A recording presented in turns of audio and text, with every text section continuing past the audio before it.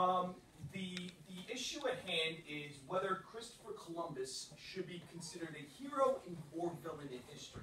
And because of current events with what's going on in the world today, we have went through a long research process looking up the facts and, and stories about what happened with Christopher Columbus.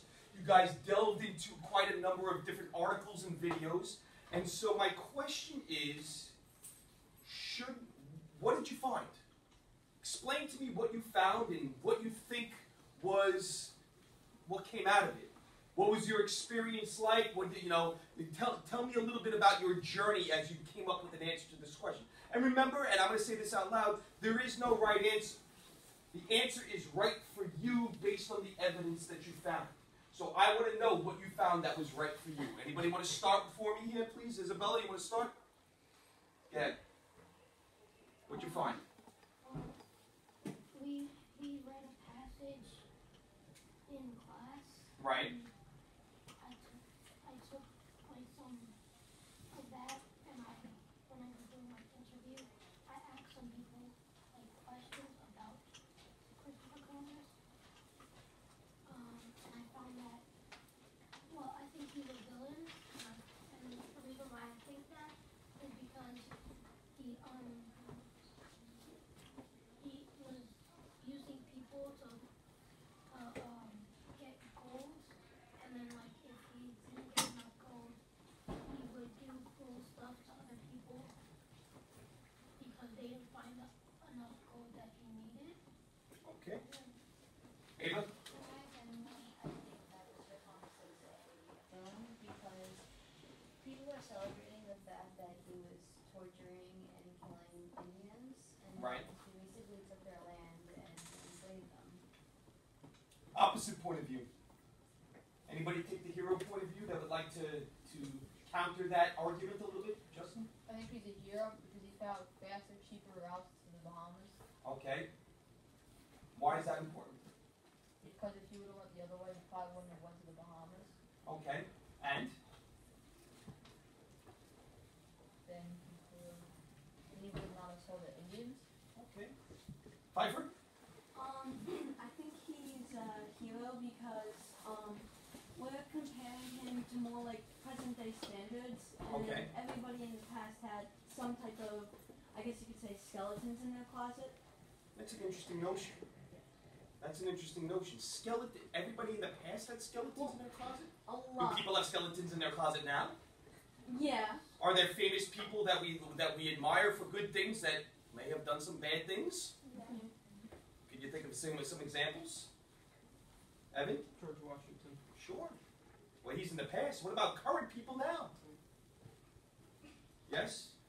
I just I want to make my case. Okay, make your case. Um, Go as a ahead. ca- I he's a villain, and to say that that was acceptable for his time, the word got spread back to Europe about what he was doing. He he was originally he was a governor of a province in Spain. He was stripped of that title and thrown in jail. So to say that it was actually for that was okay for his time, that's completely false. Because.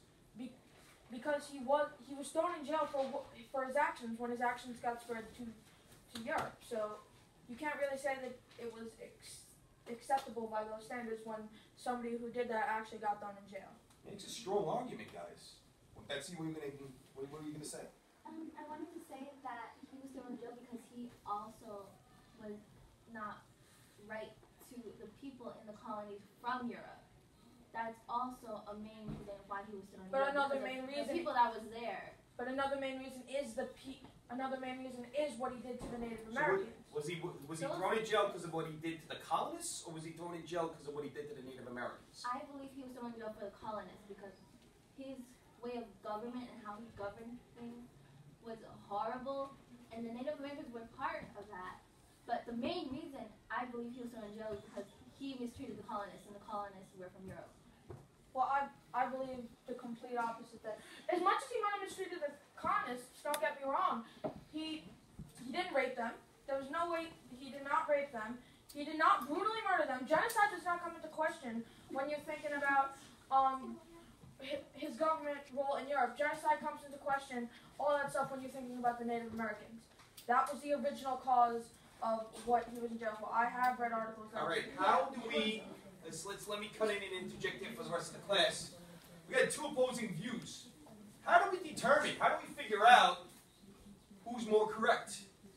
What could we do in this situation to find out who is more correct? What can we do, Austin? Research. What else? Catherine? We could compare and contrast. How do we know? I mean, and now the key thing here is you say, I've read many articles, right? We could say I've read, or we could actually say which articles we've read and point out where in those articles we found that information. That makes the argument stronger, right? Because we got to figure out what is the correct information. So that brings us to the, the issue of judgment, and I think Joe brings up a, uh, a, a valid point, and Pfeiffer brings up a point. Is it right to judge people in the past of the that we have value with the values that we have today? Do we is, is that is that is that fair? Let, let's say let's say is it right? Is it fair to do that?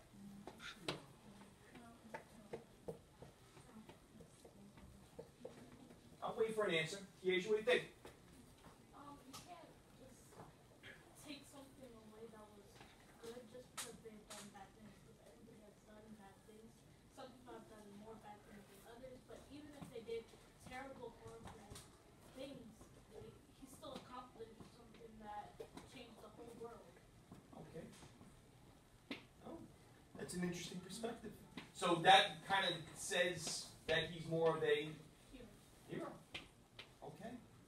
Catherine? I think that if we take what he, him and his friends did, and everyone does bad things in their life as children, but if he didn't find America, we wouldn't be here and possibly learning about him and debating if he was a good person or not.